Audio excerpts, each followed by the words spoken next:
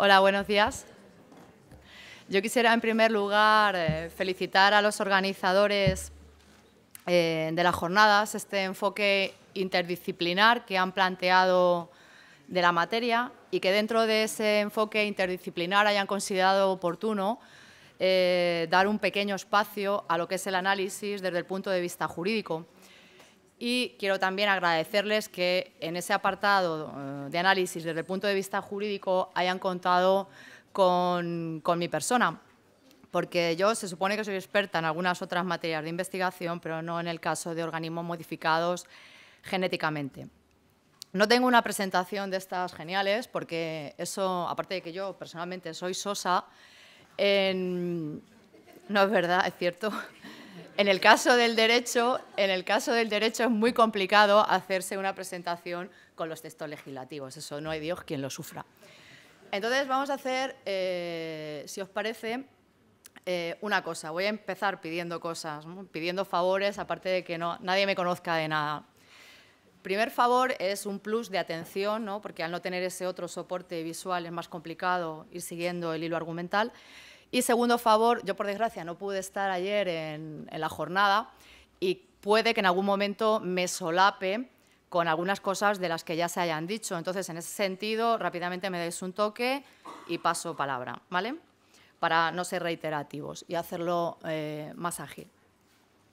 Vamos a empezar imaginándonos una cosa, y es que hoy nos despertamos en los medios de comunicación con la siguiente noticia.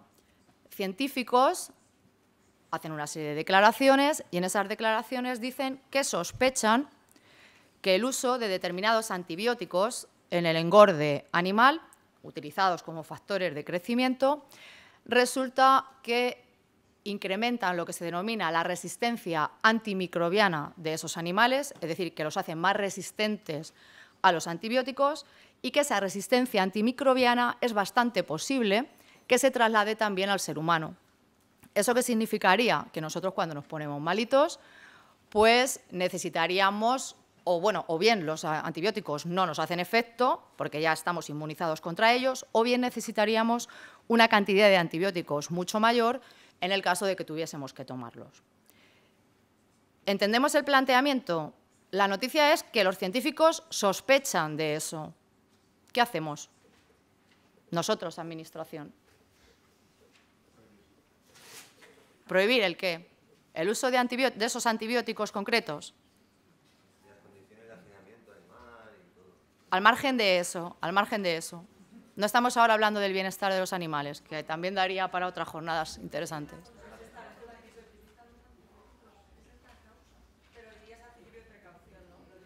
No está demostrado.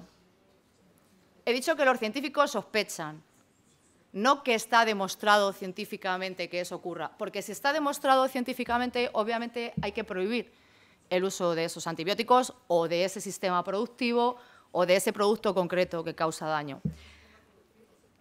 pero aquí el matiz está en que jurídicamente yo no puedo demostrar la relación causa-efecto. Entonces, si actúo, puedo estar causando una serie de perjuicios económicos sin razón, a la empresa que, utiliza o que fabrica esos eh, medicamentos, esos antibióticos, y también a los productores ganaderos que utilizan esos productos en el engorde de sus animales. ¿Nos entendemos o no nos entendemos? Pero yo, Administración, tengo que tomar una decisión y tenemos dos bienes jurídicamente protegibles en juego. Entonces, ¿qué doy prioridad? ¿A los intereses económicos o a los intereses sobre la salud de las personas? Claro, es que aquí ya estamos todos convencidos. Bueno, esta misma, esta misma pregunta planteada en Brasil respecto a las antenas grandes receptoras de telefonía móvil, porque se están incrementando los casos de cáncer y de leucemia, parece ser en aquellos eh, núcleos urbanos donde las antenas, las grandes, las que reciben la señal, están ubicadas. Esta pregunta, planteada en Brasil, en un escenario como este, en un auditorio más o menos como este, solo hubo una persona que levantó la mano para decir que las antenas habría que sacarlas de los núcleos urbanos, porque nadie quiere perder cobertura de móvil. Entonces yo les dije, claro, me quedé sorprendida, lógicamente, como os habríais quedado vosotros, de que solo una persona de, de tropecientas, dijera que aplicaría el principio de precaución, que es de lo que estamos hablando. Y yo les dije, ah, pues genial, pero es que eso me salió del alma. Dije, pues vale, todos vosotros os vais a ir a vivir a las casas que están donde están ubicadas las antenas receptoras de telefonía móvil. Porque si vosotros queréis tener mayor cobertura, vosotros tenéis que asumir entonces esos riesgos. No está bien que todos queramos tener cobertura, pero que se vayan otros a vivir cerca de esas, de esas antenas receptoras. Entonces, en este caso concreto con el que yo he empezado, el de estos antibióticos concretos es un caso real, es un caso donde hay una resolución del Tribunal de Justicia de las Comunidades Europeas, eh, donde dice el tribunal, basta con que el riesgo exista, con que se hayan expresado preocupaciones al respecto en la literatura científica y en los informes de diversos congresos y organismos y basta con que las consecuencias derivadas de esa transmisión, si se produjeran realmente, puedan tener graves repercusiones en la salud humana. Y fijaos lo que dice, porque esto es importantísimo. El hecho de que aún no se haya acreditado claramente la magnitud del riesgo y de que existan divergencias al respecto entre los especialistas científicos carece de importancia. Exigir que no se tomen medidas hasta que el riesgo se haya materializado resulta absurdo y contrario a la obligación de las instituciones comunitarias de garantizar un alto nivel de vida de protección de la salud pública. Ya estamos contentos, ¿no? Porque aquí todo el mundo dijo que habría que aplicar el principio de, de precaución. Principio que además hay que distinguir del principio de prevención. El principio de prevención, el riesgo existe y está demostrado científicamente. En el principio de precaución, el riesgo es probable, posible, pero no está demostrado científicamente. Si yo hace 30 años hago una ley antitabaco, estaría basada en qué principio? En el de precaución, porque entonces no teníamos todos los datos médicos para hacer la relación causa-efecto entre el consumo de tabaco y los cánceres, determinados tipos de cáncer. Si yo aplico hoy o hago hoy la ley antitabaco, ¿en qué principio me estoy basando? En el de prevención. Genial, sois súper buenos alumnos. Esta cosa la tenemos clara, ¿no? A nivel de la Unión Europea, el principio de precaución se, se aplica, se aprobó, se aplicó también con el tema de la crisis de las vacas locas y hay otros eh, casos en los que se ha aplicado. Hay jurisprudencia abundante en este sentido. Aquí el kit de la cuestión está en cuando la Unión Europea quiere trasladar el principio de precaución al escenario internacional.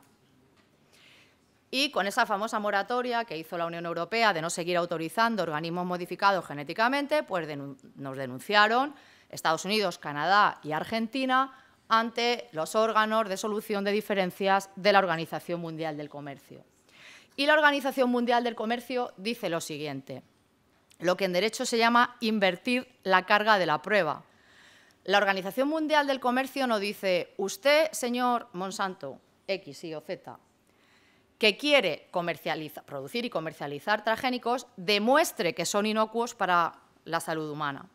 No dice eso. Dice, usted, Unión Europea, que no quiere autorizar transgénicos, demuestre que los organismos modificados genéticamente son perjudiciales para la salud de las personas.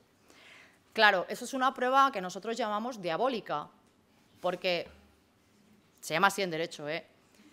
No es que lo diga yo, aparte lo suscribo. Porque yo no puedo demostrar hoy por hoy si es nocivo o no es nocivo para la salud humana, porque habría que estar haciendo estudios en segmentos de población que llevan consumiendo distintos productos transgénicos no sé cuánto tiempo.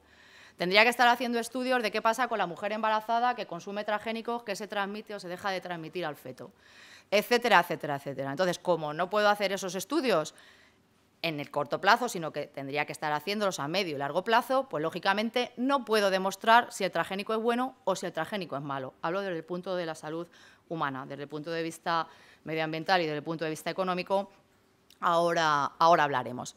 Entonces, ¿qué pasa? Que ese principio general del derecho, que para nosotros supone a nivel interno el principio de precaución, cuando digo a nivel interno digo dentro del ámbito de la Unión Europea, no es un principio general del derecho en el ámbito internacional, a pesar de estar recogido en el campo medioambiental, en la Declaración de Río, en el Protocolo de Cartagena, etcétera, etcétera. Es decir, en todos los tratados internacionales que tienen que ver con, medio ambiente. Eso por un, por un lado. Después ya sabemos que España es el eh, país de la Unión Europea que más hectáreas de maíz cultiva, es eh, normalmente maíz destinado a la alimentación animal. Entonces, nosotros lo único que tenemos es la legislación, una ley del año 2003 y un Real Decreto de 2004 que traslada a nuestro ordenamiento jurídico la normativa comunitaria, la normativa de la Unión Europea. Pero, curiosamente, no tenemos norma de coexistencia. De coexistencia me refiero a que puedan convivir tranquilamente y sin perjudicarse unas a otras la agricultura convencional, la agricultura ecológica y la agricultura transgénica. Entonces, ¿qué sucede? Que simplemente tenemos un proyecto de coexistencia basado en las recomendaciones del año 2003 de la Unión Europea recomendaciones que, por cierto, ya están eh, derogadas. En ese proyecto de, coexistencia hay una serie de normas de carácter técnico que están encaminadas a intentar no que desaparezca la contaminación, sino que la contaminación se reduzca a los límites, a los umbrales que están establecidos en el derecho comunitario, que es el famoso 0,9 de traza transgénica. Por debajo del 0,9% de traza transgénica yo no tengo obligación de etiquetado. Por encima del 0,9% se supone, en teoría por lo menos, que sí hay obligación de etiquetado. Entonces, todo esto de las zonas tampón, de las zonas refugio, etcétera, que habría que estar haciendo para evitar la, contaminación, no se, están, no se están haciendo porque no hay ninguna normativa obligatoria aprobada en esa dirección. Pero hay una cosa todavía eh, más grave que me imagino que muchas de las personas que estáis aquí ya, ya sabréis, y es que hay un reglamento del año 2007 relativo a la producción y al etiquetado de productos ecológicos, y ese reglamento, el de 2007, permite que ese límite del 0,9 de presencia accidental se aplique también a la agricultura ecológica. Es decir, que un producto ecológico puede llevar hasta un 0,9 de traza transgénica sin que haya obligación de que eso se diga en ningún sitio. ¿Qué supone eso? Pues un duro golpe para la agricultura ecológica, porque supone en realidad, desde el punto de vista del derecho de consumo, que sí es un campo en el que yo he trabajado, significa que está perjudicando la confianza de los consumidores en la producción ecológica, porque nadie me puede garantizar jurídicamente que ese alimento está al 0% libre de transgénicos. Porque la propia regulación me permite que hasta ese 0,9 aquí no ha, pasado, no ha pasado nada. Entonces, con las normas y las recomendaciones de coexistencia, se supone que no debe excluirse ningún tipo de, de agricultura. Pero, ¿qué sucede? Que con las autorizaciones, las experimentaciones y las siguientes autorizaciones que se van a, ir haciendo, eh, eso hará más difícil la supervivencia de una agricultura verdaderamente ecológica. Y eso compromete el derecho de los productores a hacer producción ecológica, de los agricultores a hacer producción ecológica y compromete el derecho de los consumidores a elegir libremente qué tipo de productos son los que quieren consumir.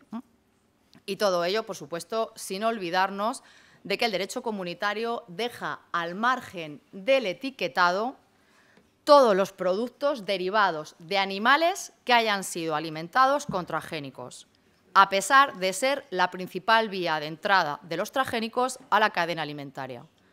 A que cuando vamos a la carnicería no pone cerdo alimentado con pienso transgénico, vacuno alimentado con pienso transgénico.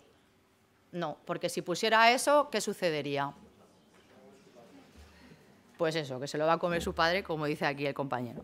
Entonces, no conviene, no conviene, no conviene que haya normas claras de etiquetado, porque sabemos que los consumidores europeos, de momento, son reacios al consumo de organismos modificados eh, genéticamente. Entonces, esa es una de las lagunas legales más importantes que tiene el derecho comunitario, la no obligación del etiquetado de aquellas carnes que hayan sido alimentadas con organismos modificados eh, genéticamente.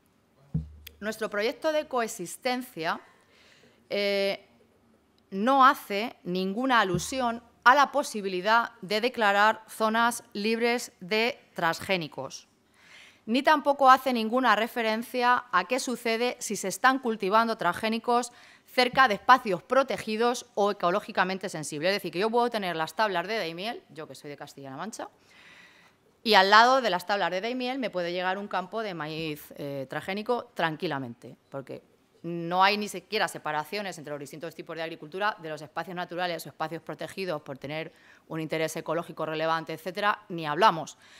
Y otra laguna, tampoco hay nada relativo a distancias de seguridad entre los campos de cultivo transgénicos y las poblaciones.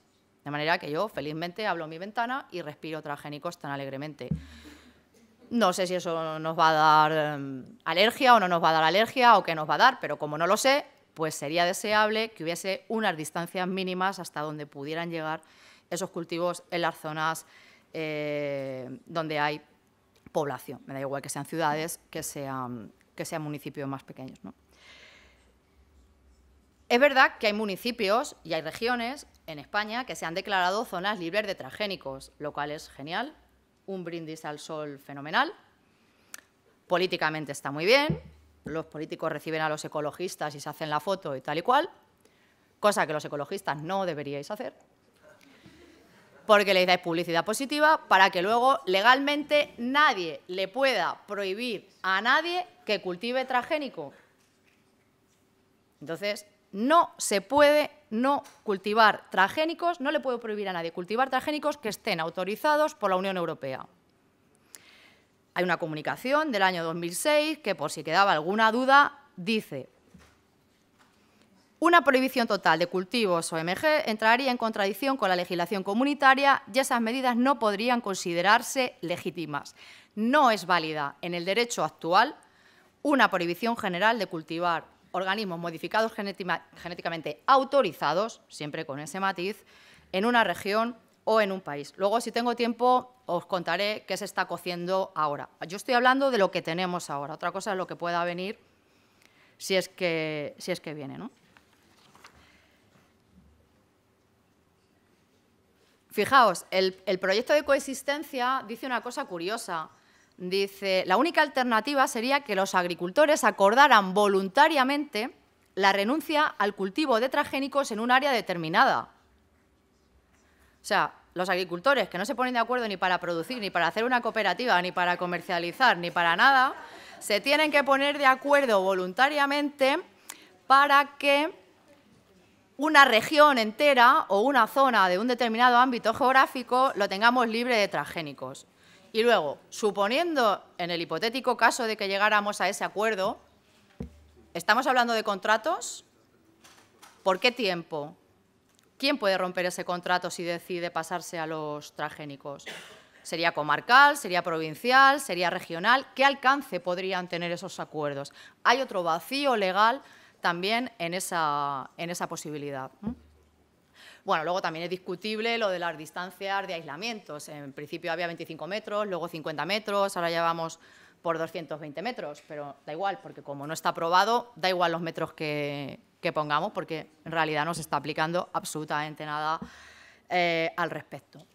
Pero sin duda, la mayor crítica que se le puede hacer al proyecto de, coexistencia, por lo, menos desde, por lo menos desde mi punto de vista, es que no hay ningún punto, ningún apartado, y me lo he mirado del lado y del revés, que os conste, en donde se diga nada de qué pasa con la responsabilidad por los daños que puedan causar los organismos modificados genéticamente por encima de los umbrales permitidos. Es decir, que en ningún lugar del texto se especifica ni quién va a ser responsable, ni cómo se va a compensar a los agricultores que se puedan ver afectados. Entonces, si partimos de la base de que la contaminación o de que la mezcla es inevitable, es injustificable e incomprensible que no se prevea ningún tipo de mecanismo que pueda compensar o reparar las pérdidas económicas que puedan tener los agricultores.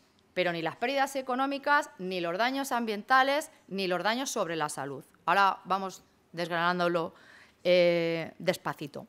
Tampoco hay ninguna obligación de suscribir ningún tipo de seguros. ni de fondos de indemnización. No sé cuántas personas aquí tendrán coche, pero a que nadie puede salir con su coche sin un seguro. ¿Por qué? Porque puede generar un riesgo y si genera un riesgo puede causar un daño y si causa un daño tiene que indemnizar a la persona a la que le causa el daño. Hasta la energía nuclear está asegurada, la navegación marítima, la navegación aérea. Aquí no hay ningún tipo de obligación de cobertura, ni, ya digo, ni tampoco de fondos de indemnización. No es que estos mecanismos nos vayan a eximir de riesgo, pero si el riesgo se produce, al menos eh, hacen que los perjudicados puedan obtener algún tipo de resarcimiento. Entonces, no solo no nos preocupamos de, señalar a quienes eh, serían los responsables, sino tampoco al cómo se tendrán que ver de alguna manera eh, compensados.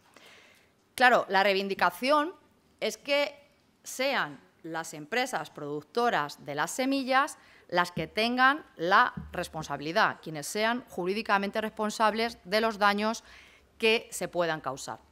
Pero si analizamos la normativa comunitaria, lo deja en manos de los Estados miembros. Si analizamos la normativa nacional, remisión al Código Civil. Luego hablo del Código Civil.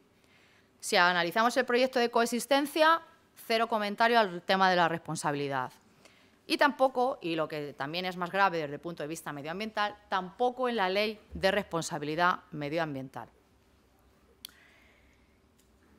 Dice el Tribunal Supremo, eh, a través de sus sentencias, a través de la jurisprudencia, define al daño de la siguiente manera. El daño es el menoscabo que soporta una persona, bien en su misma persona, vida o integridad física, como ser humano, es lo que se denomina daño personal, o bien el daño que sufre en el patrimonio de que es titular, daño material, o bien el daño que sufre en su espíritu, daño moral. Entonces tenemos daños personales, daños materiales, daños morales. En el caso de que se produjeran daños sobre la salud, estaríamos dentro del ámbito de los daños eh, personales, en el sistema jurídico español es posible acudir a la Ley General de Defensa de Consumidores y Usuarios. En esa ley, que es del año, la actual, es del año 2007, hay un régimen especial por eh, bienes o por servicios defectuosos. Bien, esa ley comprende daños personales, pero no cubriría los daños materiales, es decir, no le cubriría a aquel productor ecológico que pierde su sello de calidad, no cubriría los daños materiales, ni tampoco cubre los daños morales. Esta opción de la Ley General de Defensa de Consumidores y Usuarios, que no está exenta de polémica, se justifica con el argumento de no querer grabar excesivamente a las empresas para eh, facilitar la cobertura aseguradora y para no impedir el desarrollo tecnológico, etcétera, etcétera. Bueno, estos son los argumentos eh, que se dan. Y ocurre una cosa curiosísima. La Ley General para la Defensa de Consumidores y Usuarios impide que se invoquen los riesgos del desarrollo en el caso de medicamentos y en el caso de productos alimentarios. Y dices, ah, bueno, vale, bien, porque un organismo modificado genéticamente me lo como. Luego entra dentro de la categoría de productos alimentarios. Pero luego hay un matiz, y es que se extinguen los derechos reconocidos para presentar reclamaciones en un plazo de 10 años. Un plazo de 10 años es un plazo muy corto cuando se trata de medicamentos y alimentos que dejarán sentir sus efectos a medio y largo plazo porque hasta que investigamos de dónde te viene la alergia, de dónde te viene no sé qué enfermedad o tal, y tengo que tener más casos en otros sitios y doy yo médico doy con la clave de dónde están los nexos causales, se puede haber pasado perfectamente más de 10 años. Con otro problema añadido, y es que lo que me como, lo que ingiero, desaparece. Luego, ¿dónde está la prueba? Es lo que pasó con la talidomida, no sé si habéis oído hablar, era un medicamento eh, que se inventa en Estados Unidos, que era para evitar las molestias de las mujeres embarazadas, los vómitos, las náuseas y todos estos malestares cuando una está embarazada. Bueno, ese medicamento hacía todas esas funciones. El único problema era que aumentaba los abortos y los niños que nacían nacían con malformaciones. Ese medicamento se comercializó en Estados Unidos y como funcionaba tan fenomenal porque no vomitabas, pues se extiende por el resto del mundo mundial. Y claro, hasta que se crearon esos nexos causales, los médicos empezaron a ver qué pasa, a entrevistar a las madres que tenían esos bebés con malformaciones, etcétera, y al final llegan, después de muchos años, a la conclusión de que pasa que en los embarazos todas habían tomado ese medicamento. Entonces, si mi derecho se extingue en un plazo de 10 años, aunque la ley diga que no cabe esgrimir riesgos de desarrollo en el caso de medicamentos y alimentos, puede no ser operativo en la práctica el reconocimiento de ese derecho. Porque por ese plazo. Allá voy por cinco minutos. Bueno, vale. Los daños económicos. Bueno, en el caso de daños económicos a un agricultor ecológico que pierde su sello de calidad, hay una remisión al régimen de responsabilidad civil extracontractual, al Código Civil. Ahora llego. Y en el caso de los daños medioambientales tampoco hay mejor suerte. Tú vas leyendo la directiva eh, que intenta proteger al, al medio ambiente, prevenir y reparar el daño medioambiental, y dice que esta directiva no se aplica ni a las lesiones causadas a las personas, ni a los daños causados a la propiedad privada, ni a ningún tipo de pérdida económica, ni afecta a ningún derecho relativo a este tipo de daños. Otra vez, al derecho civil de cada Estado miembro. Y luego hay un elenco de actividades que están, sí están incluidas en la Ley de Responsabilidad Medioambiental y otras que no. Y ya te pones ahí un poco así, ¿no? A decir, a ver, a ver, a ver. Y ya dices, ostras, sí, organismos modificados genéticamente, está, pero la alegría dura poco porque a renglón seguido dice la directiva, por la presión de los grandes grupos empresariales, que los Estados miembros pueden decidir excluir la responsabilidad en dos casos, actividades autorizadas y riesgos del desarrollo. Los organismos modificados genéticamente son actividad autorizada y además entrarían dentro de los riesgos del desarrollo que se supone que todos tenemos que soportar por el avance tecnológico y de la humanidad. Entonces, se supone que así se está protegiendo la innovación tecnológica, que efectivamente queda muy bien protegida en la, ley de en la directiva de responsabilidad medioambiental. La pregunta es qué pasa con el medio ambiente y con las personas. Entonces, esas dos excepciones, ya me van a echar de un momento a otro, estas dos excepciones la recoge la Ley Española de Responsabilidad Medioambiental del año 2007. Eh, y dice otra vez nuestra ley, en su disposición adicional cuarta,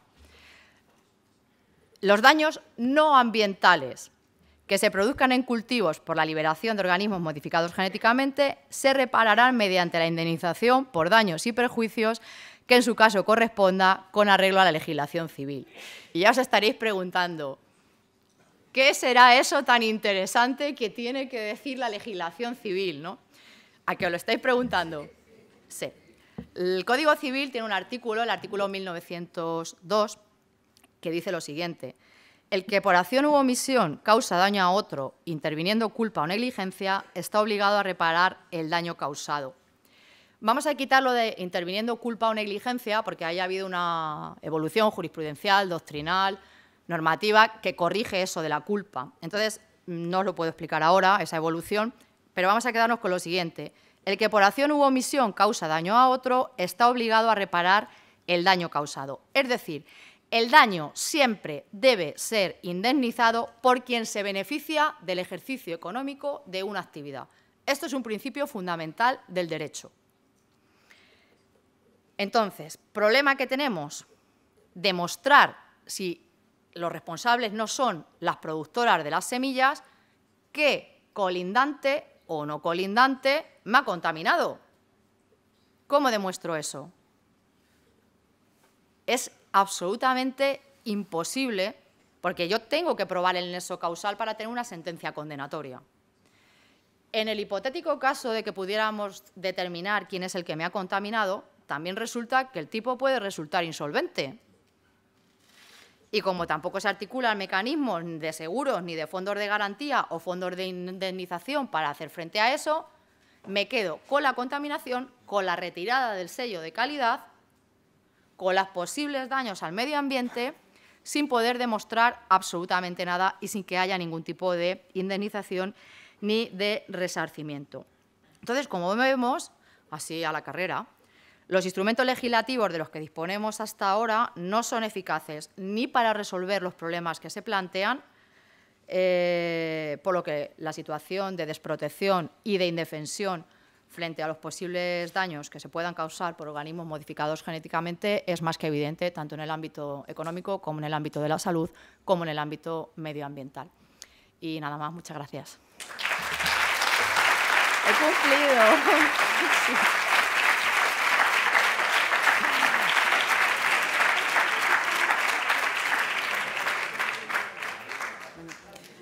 Muchas gracias, Ana.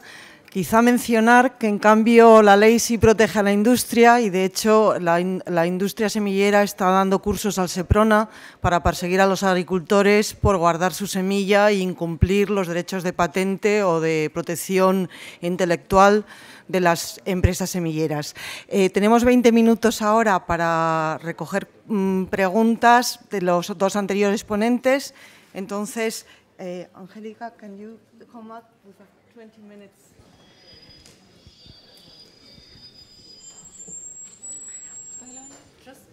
No, nada. Muchas gracias. Eh, está muy claro.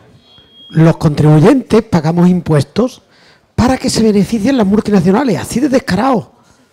Ni más ni menos. Esto es patético, esto te deja mm, frío. Que de los impuestos públicos ya sabemos que la banca se ha beneficiado a escala mundial. Y ahora ya estamos desamparados. Y pregunto, ¿quién nos representa en Europa? ¿Quién? Pues lo sabemos muy claro. Aquí tenemos un embutido tradicional español que Pedro Pacheco cuando dijo que la justicia era un cachondeo y dijo que los que había muchos chorizos, pues al, gobernador de Cádiz los, los y salió a suelto porque el juez dijo que lo había comparado con un embutido tradicional español de buena calidad. Y en mi opinión, Pedro Pacheco tenía que tener un monumento en todas las plazas del mundo cuando dijo que la justicia era un cachondeo. Porque es que estamos tirados en la cuneta. Ah. Vamos, peor que si nos cogen un coche y nos tira y, no, y no dan parte ni a la policía. Perdón, eh, mm, tenemos solo 20 minutos y en mi opinión. le ruego a las intervenciones brevedad. Voy a, vamos a recoger tres o cuatro preguntas y luego las contestaciones, si parece. Eh, había una palabra pedida allí, luego aquí. Uf, uf.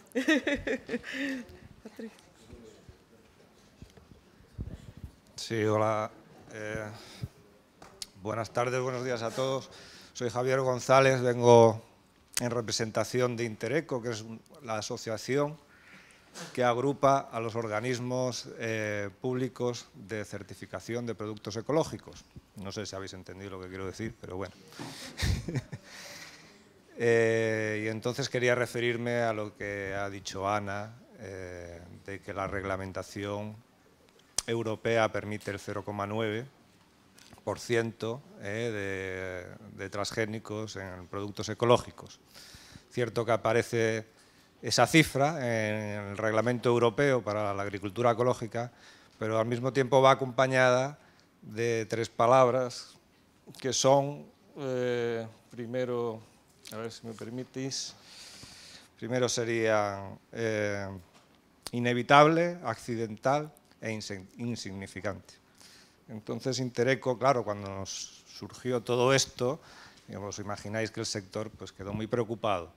Intereco como asociación pues, eh, pidió un examen jurídico a un experto en temas legales de alimentación y lo que el resultado de ese informe fue que eh, los transgénicos eh, mm, no estaban permitidos en agricultura ecológica eh, de ninguna manera. Y esa es la postura que las entidades públicas de control de España, a ese examen nos hemos agarrado para incluir en nuestro cuaderno de normas técnicas la prohibición de certificar cualquier producto por debajo del cero técnico eh, en transgénicos en agricultura ecológica. Nada más quería hacer esa información, esa aclaración. Gracias. Muchas gracias. Cogemos otras dos preguntas. Había una mano allí y otra aquí y luego vosotros estabais. Sí, bueno, primero enhorabuena a todos los de esta mañana. Esto es una maravilla tenerlos aquí. Y mi pregunta son dos preguntas al señor Seralini. Una es, en su opinión, ¿qué piensa que puede hacer eh, las personas comprometidas y agricultores en España, dado que España, por lo que está usted viendo, es diferente a Europa? Y segundo, eh, ¿qué, puede estar usted desplegando en, en en Europa con más personas aparte de Francia para que todo lo que ustedes están haciendo llegue a buen puerto y nos podamos incluir también con usted si fuera necesario. Había una tuya, luego a la Bueno, yo lo que quisiera, de alguna manera, después de lo que hemos oído esta mañana, es eh, hacer una, reflexión para mis compañeros biotecnólogos en el sentido de que cómo explican que la inmensa mayor parte de los biotecnólogos españoles, y no todos, hacen una defensa tan encendida de los organismos modificados genéticamente, bueno, me, corrijo, de los agrotransgénicos. Prácticamente sin excepción, empezando por la ministra de Ciencia y Tecnología. ¿Cómo se puede explicar esto? Bueno, cerramos ahora. You want to answer?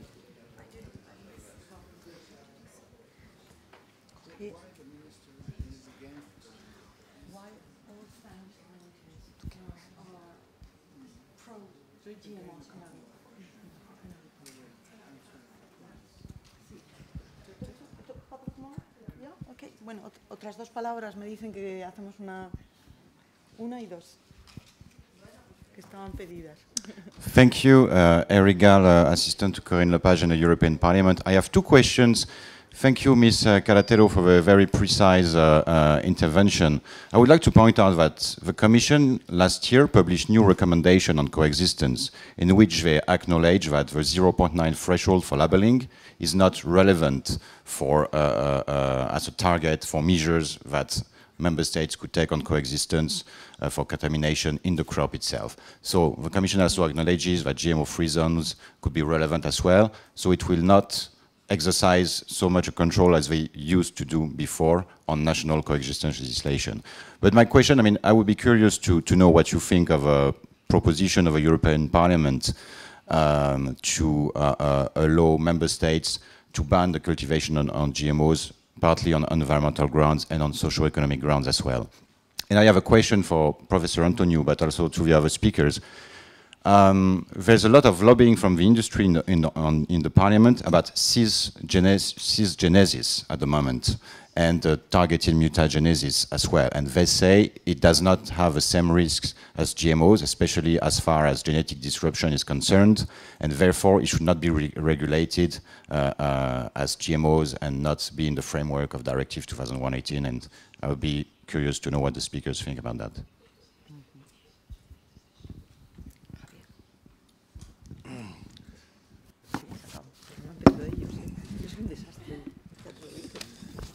Sí, todo llega en esta vida. De tantas veces levantar la mano, al final toca. Joder, igual he acumulado ocho preguntas, voy a hacer una al menos. Eh, igual luego dos. A la abogada, ¿sí? De derecho, ¿no? De Sosa nada. Has hecho chistes hasta de agricultores. Eh, que no se ponen de acuerdo. Igual no sabías que había agricultores aquí, simplemente yo soy productor de maíz no transgénico.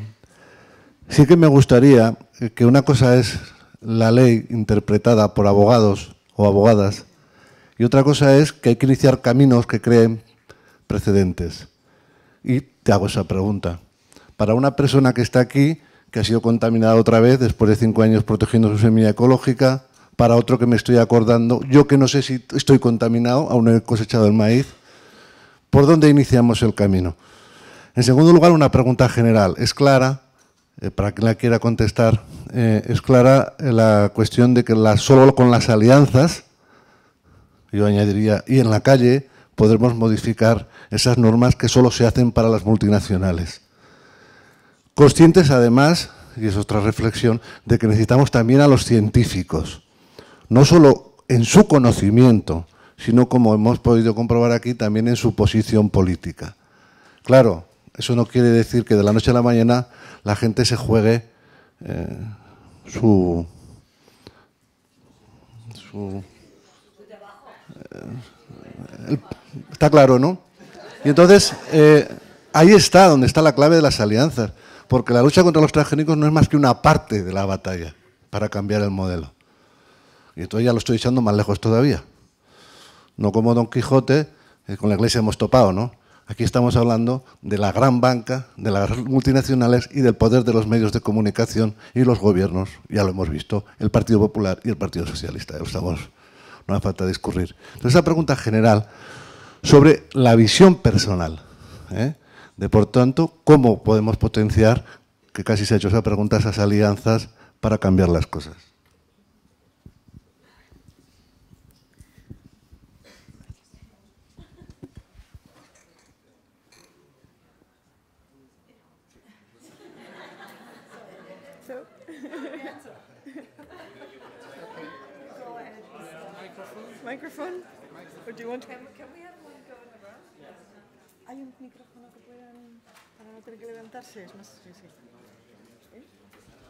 Well, have him stop. Mm, me parece Juanfe que se va a hacer imposible. Okay. Um, first of all, thank you for all questions. Uh, oh, I should answer in French. Um, concernant la cisgenèse, uh, concerning cisgenesis, um, il y a une euh, simple réponse.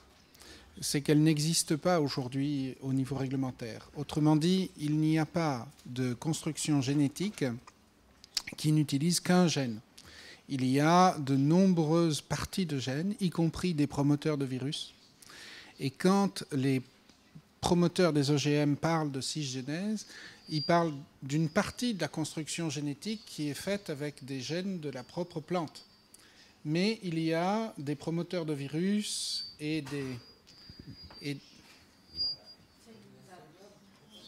Il y a des promoteurs de virus et euh, des terminateurs de virus, il y a des gènes marqueurs souvent, euh, donc il y a une construction génétique qui est transgénique dans l'ensemble, même si une partie est cisgénique. Donc il faut que tout soit euh, régulé selon les, nature des, selon les règlements des OGM. Il est clair que de toute façon, toute construction génétique, quelle que soit l'origine du transgène, euh, entre euh, dans la législation des, OGM. Il voudrait créer une nouvelle législation pour banaliser, ça n'est pas nouveau, mais aujourd'hui, quand on parle de, pommes de terre ou autres, ou euh, de cisgénèse pour, certains fruits, il n'y a pas de réelle construction cisgénétique. Puisqu'il faut toujours augmenter la production de protéines par un promoteur de virus. Et donc ça, ça prévient toute construction cisgénétique.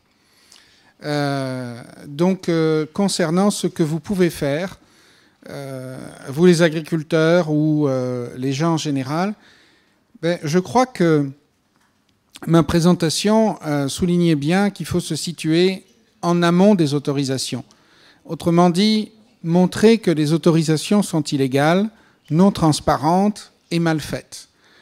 Euh, Aujourd'hui, quand vous avez un problème de contamination, par exemple par un OGM expérimental, vous ne pouvez pas vous adresser à un organisme indépendant pour connaître cette contamination. Donc les expérimentations ne peuvent pas être suivies scientifiquement, alors qu'elles devraient l'être. Vous avez un point là pour montrer que les expérimentations sont mal faites.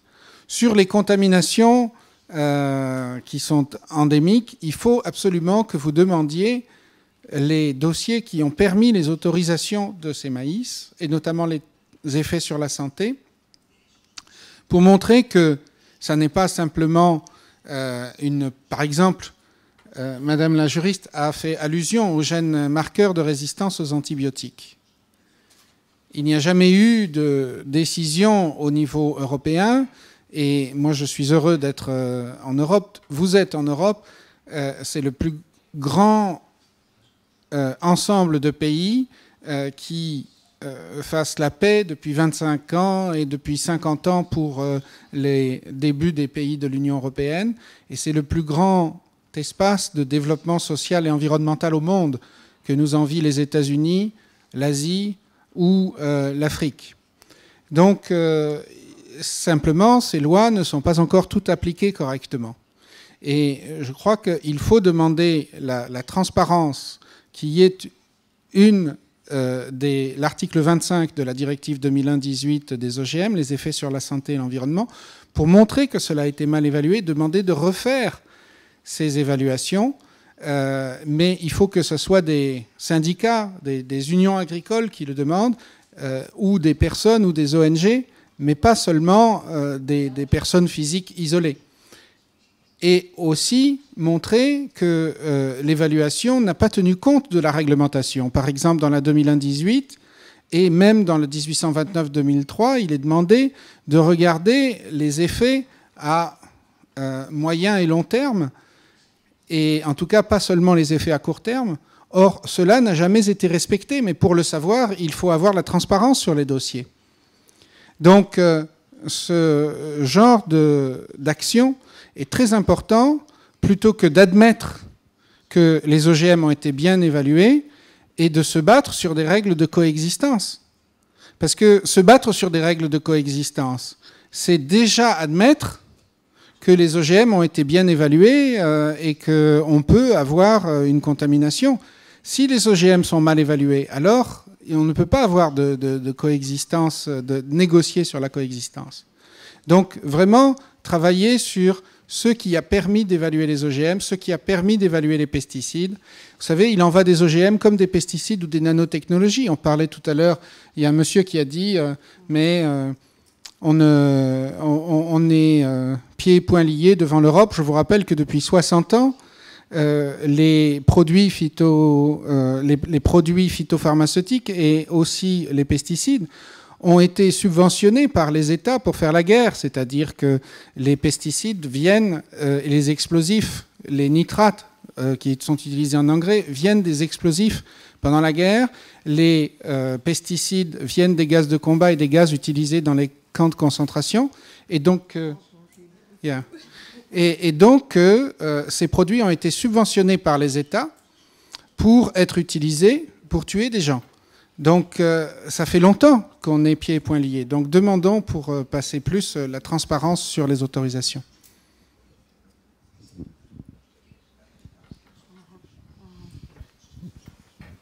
Thank you. well, I try to complement as much as I can what you've said. Um, there's two, two sets of questions we were getting, and some can be summarized. Let me start with the, with the cisgenics part we have a definition of what qualifies, what has to go into the regulation and what not. And the preamble of, of European law is process-based. Uh, not the preamble, but the regulations are based on the process. Meaning, if the process is recombinant molecular biology or recombinant technologies to produce a, an organism, it has to be regulated. This is in contrast to the US regulation that is not process, process built, process uh, defined. So cisgenics, at the beginning, the default is that they have to go through risk assessment. Now, what cisgenics may do better is that if you subject it to risk assessment, just normally, or the one that I, I would foresee, you would probably eliminate a whole bunch of risk scenarios and questions if you do the job right. What cisgenics usually do is they start out transgenic. They use the whole set of, as uh, Gileric was saying, you have marker genes, you have uh, uh, regulatory genes that go in there, the whole cassette. What they do later on is then take those out again to the degree possible and only leave as much as possible the target gene in there. So if you want the expression of a particular enzyme or a particular uh, protein, they try to get to a point where all the marker genes are being taken out and regulatory genes that regulated the marker genes are being taken out so that you're, that you're down to the bare minimum necessary well, they're working on it. No, it's not out there. He's right. I mean, none of that is out there. But we have research going on, and, and I'm sure you have research going on into this field where they work on this. It's pretty complex, but they, they you know, it looks like they might be able to do it. And they use then target genes that come from a related plant or related organism that, in theory, might be able to get into that organism through natural breeding as well. So that's why it's used in, in pomology, for example, in, in, in, perennial crops, trees, and so on, because they have very long generation times, and they can cut that generation, that breeding process that takes many, many years, decades, maybe down to, uh, you know, less numbers of years it will take. That's the idea. They're working on it. Some may work not. It doesn't matter if if they take out the marker genes, if there is no antibiotic in it anymore, if there is no X, Y, and Z in it anymore, it will be easily eliminated in the risk assessment. You can still subject it to the same kind of risk assessment, and you can say, well, there is no antibiotic in it. So period. So you don't need to look into this, right? But you will still have to look in everything else that's in there. So I wouldn't see why we would take them out of regulation. We can keep them as they are. If they do what they promise, if it works, the risk assessment will be easier, will be not that complex. They will not have to do that much. If they don't, they will have to do just as everybody else, regardless where they got the genes from. So I don't, for me, that discussion is a bit, I don't quite understand it. It, you know, just go ahead and, and subject it to risk assessment. And the, the definition is it's process based, so they will have to go into risk assessment at the beginning. That's my interpretation, but maybe the lawyers can say something else. But then moving on to um, the more the more political questions that we've been getting. Um, we, I think, you know, what, what the gentleman over there was raising and what you were raising are all um, facets of the same coin. We are, we are in a crisis, in a system, systemic crisis, in a system crisis. And that is just the banking crisis and financial crisis, just one face, one outfit of that same systems crisis we're going through. What we're seeing in agriculture is the same thing. It was based on privatizing, on maximizing profits, succumbing totally any any pillar on which human societies rest to the economic paradigm. And we're running, we're at the end with that. And now we're facing a huge crisis also in democracy because through this process we have put so much power in so few hands. This is the famous, you know, now 1% running, ruling 99%, or could be 10 to 90, doesn't matter. Um, that is a, that's a system crisis. That's a crisis of democracy, and that explains why you don't see scientists here. This explains why it's so so difficult to get changes that are so obvious. If you're outside of that, it's it's pretty clear and pretty simple what's to to be done. And we have done. We have a crisis in agriculture we are, we, uh, my goodness, I don't even know where to start when it comes to a crisis in agriculture. And as I understand, um, Spain has been pushing its agriculture really to an extreme when it comes to its uh, industrial production basis. So, and it's not taking care of its, it's not diversified. It has been going straight to industrial, bigger, larger, richer, more, more yield maximization um, than ever. And what you're facing now is that the losing end is diversified multifunctional agriculture, is organic agriculture, and, and is diversity. And so that system doesn't come along without a substantial basis in the science and research science and research supports these systems. We see this at the European level and at the global level. We're facing to different degrees the same problem. You see here a few that have been stubborn enough and, and um, well, rebellious enough to, to stand still, but why you don't see more is because these people are just discredited, hunted, and tried to eliminate it. And depending how well that discrediting machine works in your country, you see more or less people coming up. You know, and it seems to be quite efficient in your country if you don't have any. And it's it's also quite efficient for us. We have a few more, but it's just shades, it's degrees. We all face the same the same problems, and that's the part I couldn't get into in my presentation. So it's a systems crisis, and that's why we the big white elephant in the room is corporations and is is concentration of power and, and all of that. So. Luego dicen que los de derecho tenemos rollo. ¿eh? Sí. Yo, yo lamento pediros que seáis lo más breve posibles. Porque si no nos quedamos sin tiempo para la siguiente intervención. It's a joke, it's a joke. Eh, a ver, cuando, sabía que había agricultores, ¿eh? Lo sabía. Lo que pasa es que, es que, aunque hay agricultores, sigo pensando que en este país están mal organizados. Sobre todo si comparamos, por ejemplo, con el modelo francés, ¿no? donde los agricultores tosen y el gobierno se echa a temblar. Entonces, ese, y me refería también a que es muy difícil en este país lo de las eh, cooperativas de segundo grado, de cara a la transformación, comercialización. Creo que esos son datos objetivos, no es que lo diga yo. ¿no? Luego, planteabas una, una cuestión de sí, vale, me estás contando qué pasa con la normativa, cuáles son las lagunas desde el punto de vista jurídico, ¿yo qué hago? Pues yo te diría lo que yo haría si yo fuera agricultora ecológica. Demandaría a todos, los, a todos los colindantes unos cuantos kilómetros a la redonda. Ya sé que para vosotros eso es muy difícil porque luego jugáis a las cartas con el colindante. En el casino vuestro hijo será novia de vuestro hijo novio de, de la hija del otro y tal. Pero yo demandaría porque igual que ellos defienden intereses legítimos, tú estás defendiendo tu interés legítimo y no tiene que ver con lo demás. Demandaría además a las empresas productoras de semillas, porque yo no puedo identificar qué agricultor colindante o no colindante me ha contaminado, pero cuando analizo la semilla sí sé si es de Dupont, si es de Singenta o si es de Monsanto. Y además demandaría al Estado por no dictar normas de coexistencia. ¿Que eso puede dar resultado o puede no dar resultado? No lo sé, pero se estaría ejerciendo una presión tanto a nivel normativo como a nivel, a nivel eh, jurisprudencial, es decir, en los tribunales.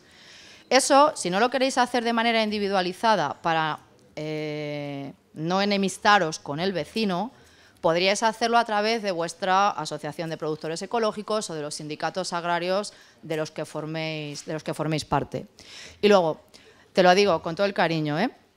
estoy harta de que hablemos todo el tiempo del poder que tienen las multinacionales, del poder que tienen los bancos, etcétera, etcétera, y nunca hablemos del poder que tenemos los ciudadanos.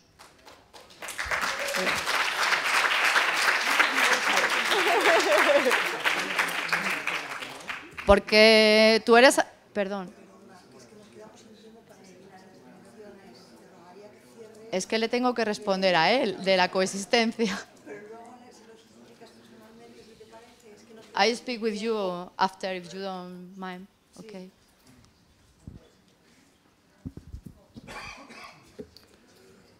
I w- turn that off. Um, for me, uh, cisgenics is just transgenics by another name. Procedurally, it's identical, even if you try to clean up the final uh, gene insertion event. And the fact that you are merely you transferring a gene from a related plant, like from one variety of maize or wild maize into a commercial variety, you're still using the trans, as Angelica mentioned, you're still using the same transgenic GM transformation process with all of the damaging effects that that has to the DNA of the plant. An insertion mutagenesis will be there, and the, the whole DNA wide mutations will still be there. Therefore, it has to be treated as a GMO, and meth, therefore must be subjected to the same strict, at least the ones that we've been because we know that currently GMOs are not subject to the strict um, risk assessments, but they must be subject to the same risk assessments as we have been highlighting need to be in place today. In terms of targeted integration events, which is the other side that you mentioned, where we select, I mentioned in my presentation how we have the procedure has no control normally. When you do GM transformation normally, you have no control where the foreign gene splices into the plant DNA. But there are procedures that exist where you can target, select where it goes, and it's thought that you can select a safe area by, I mean, what is safe is debatable, but you can select an apparent safe area where your foreign gene integrates. But again, the whole procedure is a GM transformation process. It is based on having a tissue culture phase. It is still based on an insertion phase. So these procedures are mutagenic generally. Uh, the tissue culture phase alone, remember, is highly mutagenic in its own right. And therefore, the process must still be regulated as a GM procedure and still be subject to the same risk assessments. So, I, from a technical point of view, this is uh, this is the take really on these uh, on cisgenics and targeted integration. Bearing in mind that these are sophisticated, there's nothing in the near in the pipeline for commercialization yet. They're very very sophisticated procedures, and I don't think industry is really uh, about to launch anything through these methods. We have to finish up, and I just got the, the permit of saying two, two last words. There was a question on hope there, what we can do. I'd say let's get out and get organized ourselves, and don't be afraid. Just don't be afraid of those big white elephants in the room. They are not as powerful as we think. You can bring them down if we just organize ourselves and can stay together. So that's why we're coming back in May.